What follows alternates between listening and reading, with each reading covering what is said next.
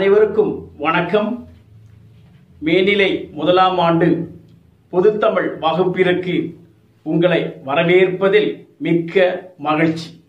முந்தைய வகுப்பில் நாம் எந்த பாடப்பகுதியினை பார்த்தோம்? தமிழர் பண்பாடும் இலக்கியமும் என்ற பாடப்பகுதியினை பார்த்தோம். இதில் பண்பாடு என்றால் என்ன? பண்பாட்டின் தன்மையை எவ்வாறு அறிந்து கொள்ளலாம்? கலித்தகை நூற்றி முப்பத்தி மூன்றாவது பாடலின் வழியாக தோழி தலைவனுக்கு எடுத்து கூறிய பண்பாட்டு கூறுகளை பார்த்தோம். புறநானூறு நூற்றி எண்பத்தி இரண்டாவது பாடலின் வழியாக தன்னலமிக்க சான்றோர்கள் இருப்பதால் தான் இந்த உலகம் இருக்கிறது என்ற கருத்தினை அறிந்து கொண்டோம். இன்று நாம் தமிழர் பண்பாடும் இலக்கியமும் என்ற பாடப்பகுதியின் அடுத்த பகுதியினை பார்க்கலாம். இப்பொழுது புறநானூறு நூற்றி தொண்ணூற்றி இரண்டாவது பாடலை கேளுங்கள். யாதும் ஊரே யாவரும் கேளீர். தீதும் நன்றும் பிறர் தரம் வாரா. நோதலும் தனிதலும் அவற்றோர் அன்ன. சாதலும் புதுவது அன்றே. வாழ்தல் இனிதன மகிழ்ந்தன்றும் இளமே. முனிவின் இன்னார் என்றலும் இளமே.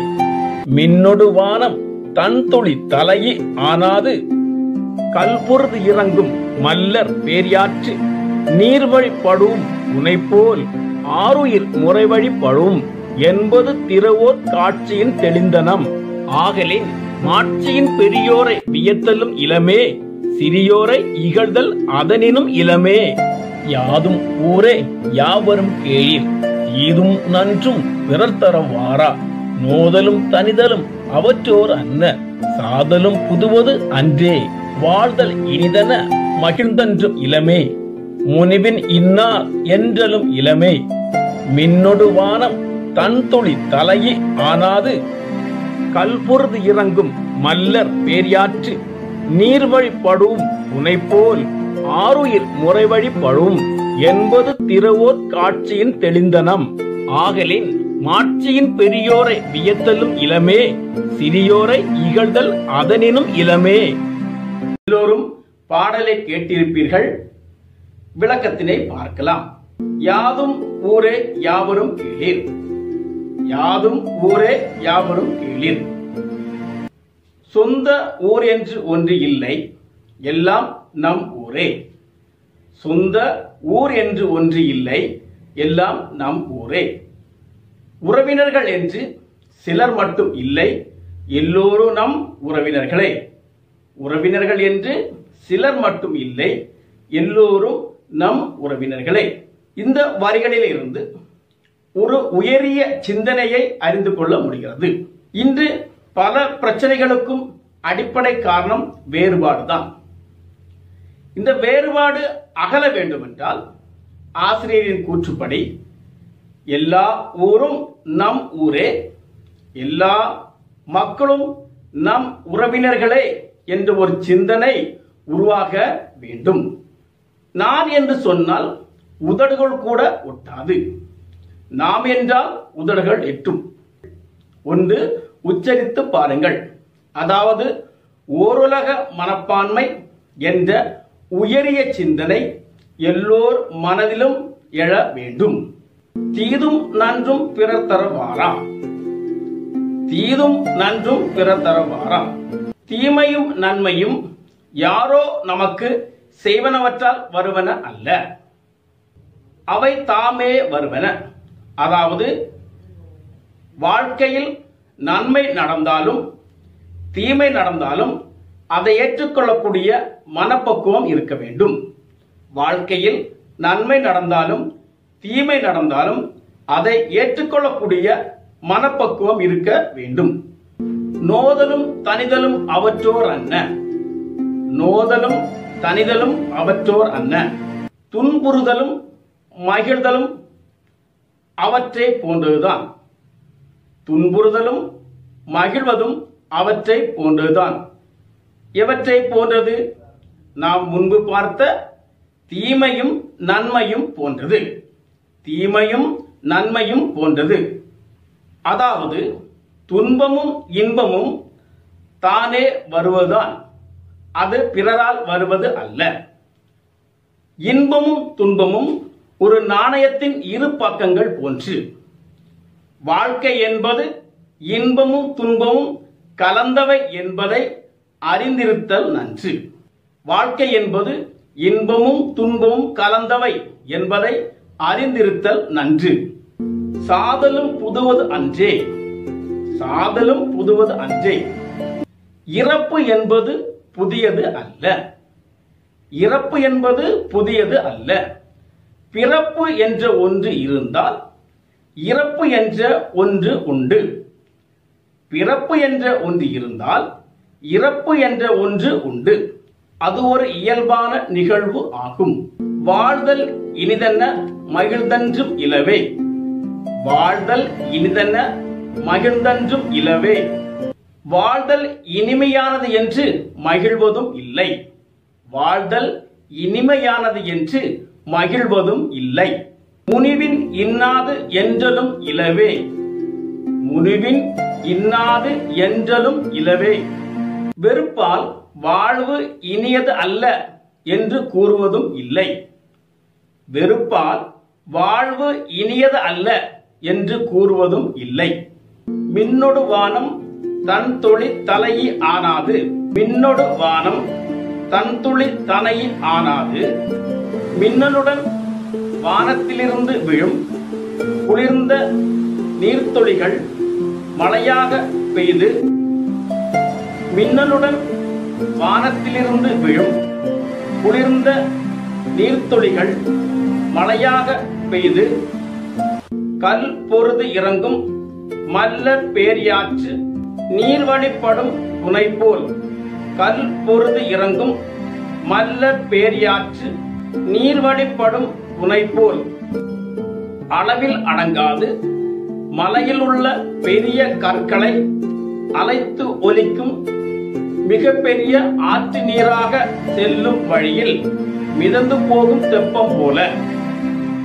அளவில் அடங்காது மலையில் உள்ள பெரிய கற்களை அலைத்து ஒலிக்கும் மிகப்பெரிய ஆற்று நீராக செல்லும் வழியில் மிதந்து போகும் தெப்பம் போல.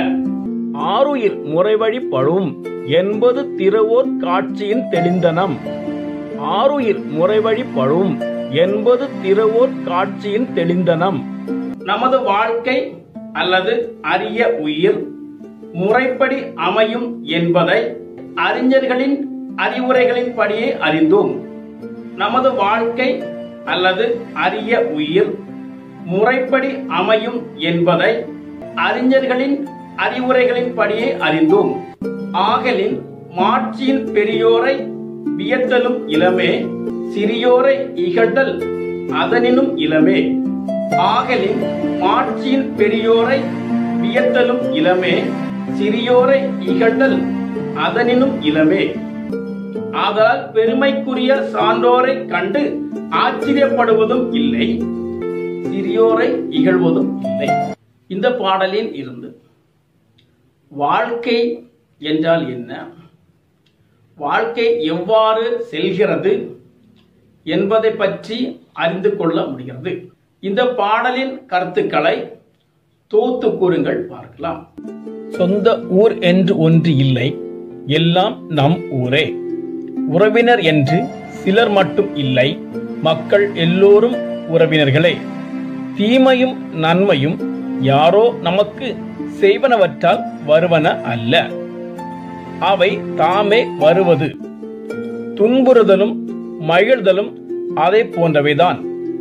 இறப்பு என்பது புதியது அல்ல. வாழ்தல் இனிமையானது என்று மகிழ்வதும் இல்லை. வெறுப்பால் வாழ்வு இனியது அல்ல என்று கூறுவதும் இல்லை. மின்னலுடன் வானத்திலிருந்து விழும் குளிர்ந்த நீர்த்துளிகள் மழையாக பெய்து அளவில் அடங்காது. மலையில் உள்ள கற்களை அலைத்து மிகப்பெரிய ஆற்று நீராக செல்லும் வழியில் மிதந்து போகும் தெப்பம் போல் நமது வாழ்க்கை முறைப்படி அமையும் என்பதை அறிஞர்களின் அறிவுரைகளின் வழியே அறிந்தோம். ஆதலால் பெருமைக்குரிய பெரியோரை கண்டு ஆச்சரியப்படுவதும் இல்லை சிறியோரை இகழ்தலும் இல்லை. இவ்வாறு கனியன் பூங்குன்றனார் பாடியுள்ள பாட்டில் வாழ்க்கை அனுபவ தெளிவை காணலாம். இனி பக்தி காலகட்டத்தில் மக்களின் வாழ்க்கை முறை எவ்வாறு அமைந்தது என்பதை பற்றி பார்க்கலாம். வைதிக ஆசாரங்களும் கிரியைகளும் வைதிக தெய்வங்களும் தமிழர்களது உள்ளத்தில் இடம் கொண்டன.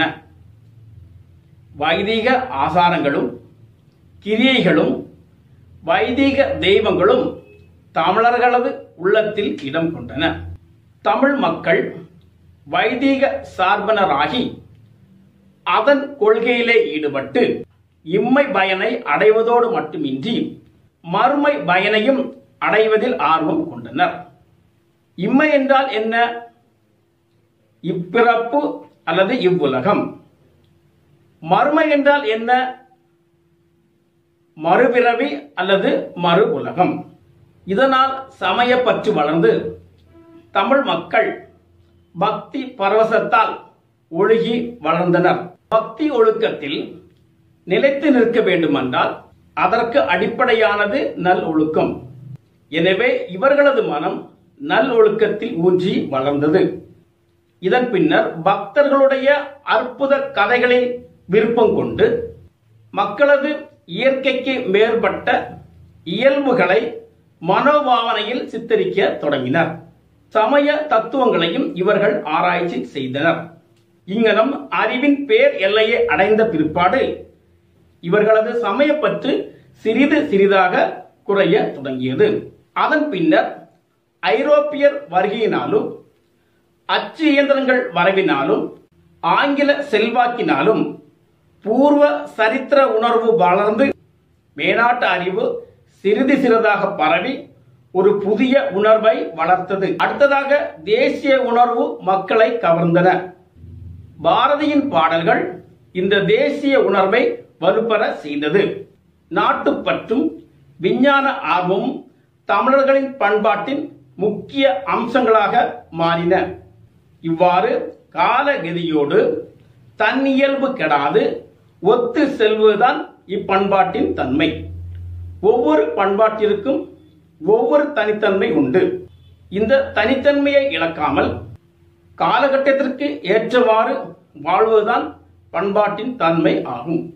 இந்த தமிழர் பண்பாடும் இலக்கியமும் என்ற பாடப்பதின் வழியாக சங்க காலத்தில் மக்களது வாழ்க்கையும் சிந்தனையும் பக்தி காலத்தில் மக்களின் வாழ்க்கையும் சிந்தனையும் ஐரோப்பியர் வருகையினால் மக்களின் வாழ்க்கையும் சிந்தனையும் எவ்வாறு இருந்தது என்பதை அறிந்து கொள்ள முடிகிறது. அடுத்ததாக ஒரு வீடியோ காண்பிக்கப்படுகிறது. அந்த வீடியோவை பார்த்து அந்த வீடியோவில் காணப்படுகின்ற உள்ளடக்கத்தினை நீங்கள் கூற வேண்டும்.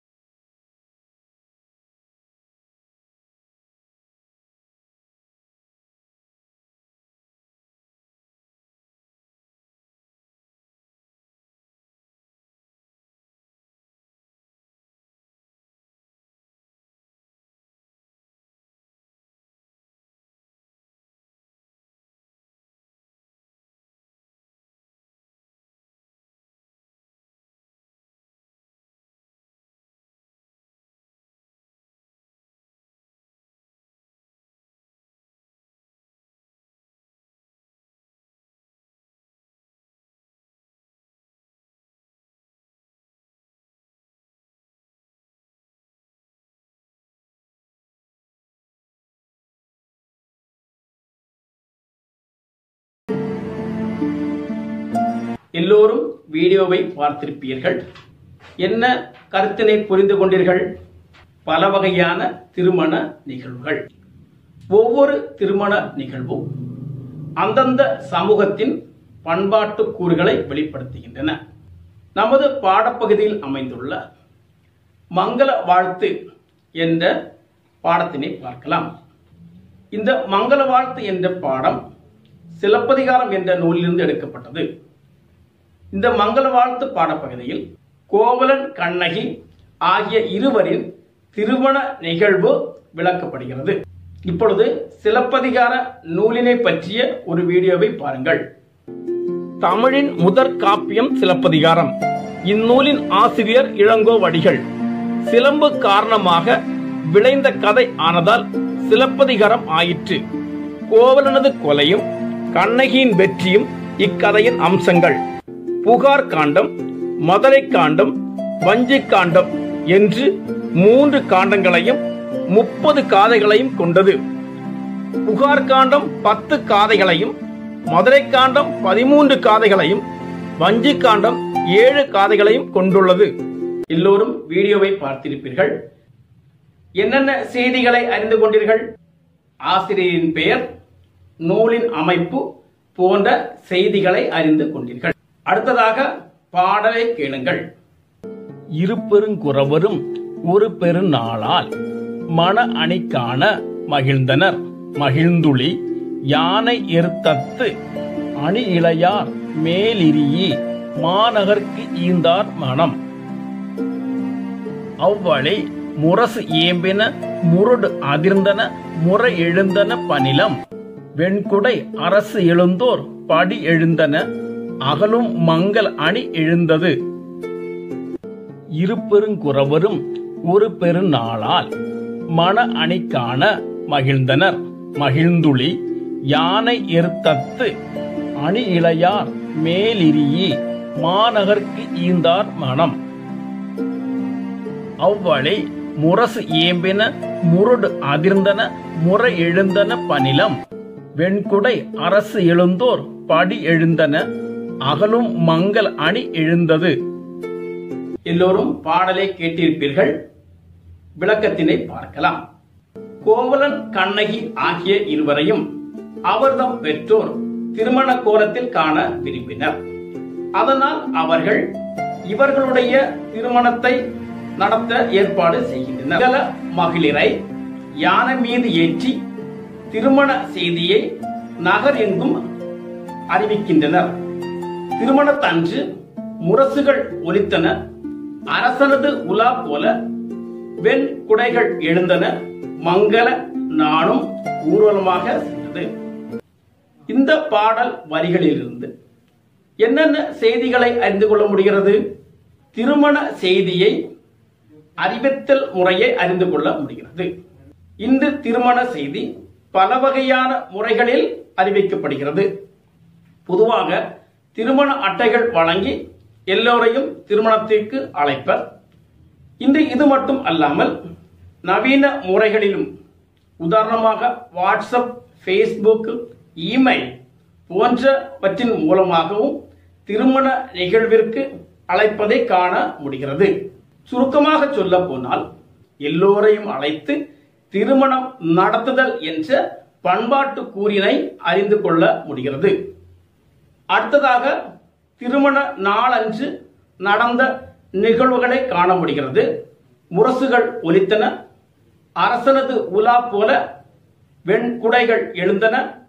மங்கள நானும் ஊர்வலமாக சென்றது. அடுத்த பாடல் வரிகளை கேளுங்கள். மாலைத்தாள் சென்னி வைர மணி தூணகத்து நீல விதானத்து நித்திலம்பும் பந்தற்கீழ் வானூர் மதியம் சகுட அணைய வானத்து. சாலி உருமின் தகையாளை கோவலன் மாமுது பார்ப்பான் மறைவழி காட்டிட. தீபலம் செய்வது காண்பார் கண் நோன்பு என்னை.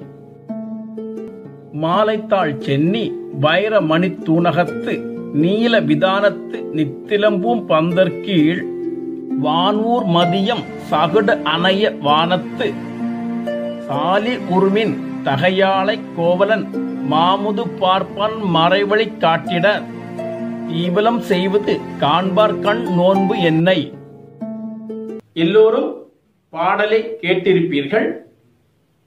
விளக்கத்தினை பார்க்கலாம். மாலைகள் பொருந்திய உச்சியுடன் கூடிய மண்டபம் அமைக்கப்பட்டு இருந்தது அதில் நீலப்பட்டினால் ஆன விதானத்தின் கீழ் அமைந்த அழகிய முத்து பந்தல். வானில் செல்லும் சந்திரன் ரோகிணியைச் சேரும் நல்ல நாளில் வானத்தில் உள்ள உப்பற்ற நட்சத்திரமாகிய அருந்ததி போலும் கற்புடைய கண்ணகியை கோவலன் மிகவும் வயதான அந்தணன் வேத நெறிப்படி சடங்குகள் நிகழ்த்த மணந்தான். தீயினை கண்ணகியும் கோவலனும் வலம் வந்த காட்சியை காண்பவர் கண்கள் முன்பு செய்த தவம்தான் யாதோ. இந்த பாடல் வரிகளிலிருந்து என்னென்ன செய்திகளை அறிந்து கொண்டீர்கள்? திருமண நிகழ்விற்காக அமைக்கப்பட்டிருந்த மண்டபம் பந்தல் ஆகியவற்றின் அலங்காரங்களை அறிந்து கொள்ள முடிகிறது. இன்றும் பல திருமணங்களில் மண்டபங்கள் பந்தல் பல வகையான அலங்காரங்களால் அமைக்கப்பட்டிருப்பதை காண முடிகிறது. மேலும் நாள் பார்த்தல் சடங்கை நடத்தி வைத்தவர் சடங்கு முறைகள் போன்றவற்றையும் அறிந்து கொள்ள முடிகிறது. இன்றும் பல திருமண நிகழ்வுகளில் இதுபோன்ற சடங்கு முறைகளை காண முடிகிறது. அடுத்த பாடல் வரிகளை கேளுங்கள். விரையினர் மலரினர் விலங்கு மேனியர் உறையினர் பாட்டினர் ஒசிந்த நோக்கினர் சாந்தினர் புகையினர் தயங்கு கோதையர் விளக்கினர் கலத்தினர் விரிந்த பாலிகை முளைக்குட நிறையினர் முகிழ்ந்த மூரலர் போதொடு விரிகூந்தல் புலன்னரும் கொடி அன்னார். விரையினர் மலரினர் விளங்கு மேனியர். உறையினர் பாட்டினர் ஒசிந்த நோக்கினர். சாந்தினர் புகையினர் தயங்கு கோதையர். விளக்கினர் களத்தினர் விரிந்த பாலிகை. முளைக்குட நிறையினர் முகிழ்ந்த மூரலர் போதொடு விரிகூந்தல் புலன்னரும் கொடி அன்னார். எல்லோரும் பாடலை கேட்டிருப்பீர்கள். விளக்கத்தினை பார்க்கலாம். அழகுடன் விளங்கும் மேனியே உடைய மகளிர் சிலர் நறுமண பொருட்களை ஏந்தியும் சிலர் மன மலர்களை கொண்டு வாழ்த்து பாடியும் சிலர் ஒசிந்த பார்வையினராயும் நெருங்கி வந்தனர். சிலர் சாந்தினை ஏந்தியும் சிலர் அகில் புகை போன்ற நறுமண புகையை ஏந்தியும் சிலர் சுண்ணப் பொடிகளை ஏந்தியும் சுண்ணப் பொடி என்றால் விழா காலங்களில் மக்கள் மீது தூவும் மணப்பொடி ஆகும். சிலர் அழகிய மாலைகளை ஏந்தியும் அரும்பிய புன்முறுவலுடன் கூடிய மகளிர் சிலர் விளக்கினை ஏந்தியும் சிலர் அணிகலன்களை ஏந்தியும் சிலர் முளைப்பாலிகையை ஏந்தியும் முளைப்பாலிகை என்றால் சுப சடங்குகளில் நவதானியங்கள் முளைக்க வைக்கப்பட்ட மண்பாண்டம். சிலர் பூர்ண கும்பம் ஏந்தியும் நெருங்கி வந்தனர். பூர்ண கும்பம் என்றால் மாவிலை தர்ப்பை ஆகியவற்றால் அலங்கரிக்கப்பட்ட நீர் நிறைந்த நிறைகுடம். இந்த பாடலின் வழியாக என்னென்ன செய்திகளை அறிந்து கொள்ள முடிகிறது? மணமக்களை வாழ்த்த வந்தவர்கள் எவ்வாறெல்லாம் வந்தார்கள் என்பதை அறிந்து கொள்ள முடிகிறது. அடுத்த பாடல் வரிகளை கேளுங்கள். காதலர் பிரியாமல் கவுக்க நெகிழாமல் தீது அருக என ஏத்தி சின்மலர் கொடுதூவி அங்கன் உலகின் அருந்ததி அன்னாளை மங்கள நல் அமளி ஏற்றினார். காதலர் பிரியாமல் கவுக்க நெகிழாமல் தீது அருக என ஏத்தி சின்மலர் கொடுதூவி அங்கன் உலகின் அருந்ததி அன்னாளை மங்கள நல் அமளி ஏற்றினார். எல்லோரும் பாடலை கேட்டிருப்பீர்கள். விளக்கத்தினை பார்க்கலாம். மலர் சூடிய அலர்ந்த கூந்தலை உடைய அழகிய பொற்கொடி போன்ற மகளிர் சிலர் இவள் தன் காதலனை கண்ணினும் மனத்தினும் பிரியாதிருப்பாளாக. அவனும் இவளை பிணைந்த கை நெகிழாமல் இருப்பானாக. இருவரும் தீங்கு இன்றி நீடொளி வாழ்க என சில மலர்களை தூவி வாழ்த்தினர். பின்னர் அழகிய இடமகன்ற பூமியே இருக்கும் அருந்ததி போன்ற கண்ணகியே நல்ல மங்கள அமளியில் அமர்த்தினர். இந்த பாடல் வரிகளிலிருந்து என்னென்ன செய்திகளை அறிந்து கொள்ள முடிகிறது? இந்த பாடலின் வழியாக மணமக்களை வாழ்த்துவதை அறிந்து கொள்ள முடிகிறது. இணைந்த கை நெகிழாமல் என்றால் நீங்கள் வாழ்க்கையில் ஒரு நாளும் பிரியாமல் வாழ்க என்று வாழ்த்துகின்றார்கள். நாம் இன்று பார்த்த பாட பகுதிகளை ஒரு பின்னூட்டம் செய்து பார்க்கலாம். முதலாவதாக யாதும் ஊரே யாவரும் கேளீர் என்ற பாடலினுடைய விளக்கத்தினை பார்க்கும். வாழ்க்கையின் உண்மையை அழகாக படம் பிடித்து காட்டியது அந்த பாடல். தமிழர் பண்பாடும் இலக்கியம் என்ற பாடப்பகுதியின் வழியாக சங்க காலத்தில் மக்களின் வாழ்க்கை முறையும் சிந்தனையும் பக்தி காலத்தில் மக்களின் வாழ்க்கை முறையும் சிந்தனையும் ஐரோப்பியரின் வருகையால் மக்களின் வாழ்க்கை முறையும் சிந்தனையும் போன்றவற்றை அறிந்து கொண்டோம். அடுத்ததாக மங்கள வாழ்த்து என்ற பாடப்பகுதியின் வழியாக கோவலன் கண்ணகி ஆகிய இருவரின் திருமண நிகழ்வினை பார்த்தோம். செயல்பாடுகளை எழுதிக் கொள்ளுங்கள். யாதும் ஊரே யாவரும் கேளீர். புறநானூறு நூற்றி தொண்ணூற்றி ரெண்டு பாடலின் வழியாக அறியலாகும் வாழ்க்கை அனுபவ தெளிவை தொகுத்து எழுதுங்கள். யாதும் ஊரே யாவரும் கேளீர். புறநானூறு நூற்றி தொண்ணூற்றி ரெண்டு பாடலின் வழியாக அரியலாகும் வாழ்க்கை அனுபவ தெளிவை தொகுத்து எழுதுங்கள். தமிழர் பண்பாடு என்ற தலைப்பில் கட்டுரை எழுதுங்கள். தமிழர் பண்பாடு என்ற தலைப்பில் கட்டுரை எழுதுங்கள்.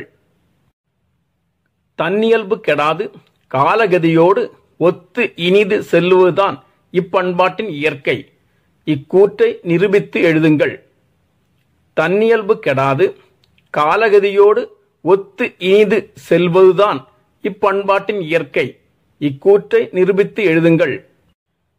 கோவலன் கண்ணகி திருமண நிகழ்வில் காணலாகும் பண்பாட்டு கூறுகளை தொகுத்து எழுதுங்கள்.